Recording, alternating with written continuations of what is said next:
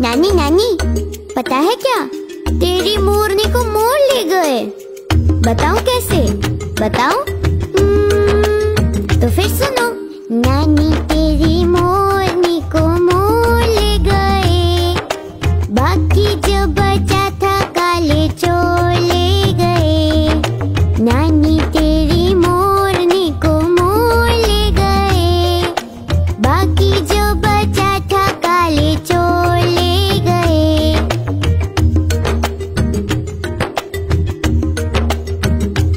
पता है?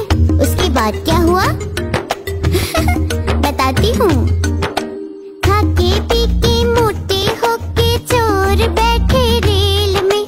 चोरों वाला डब्बा सीधा जेल में। नानी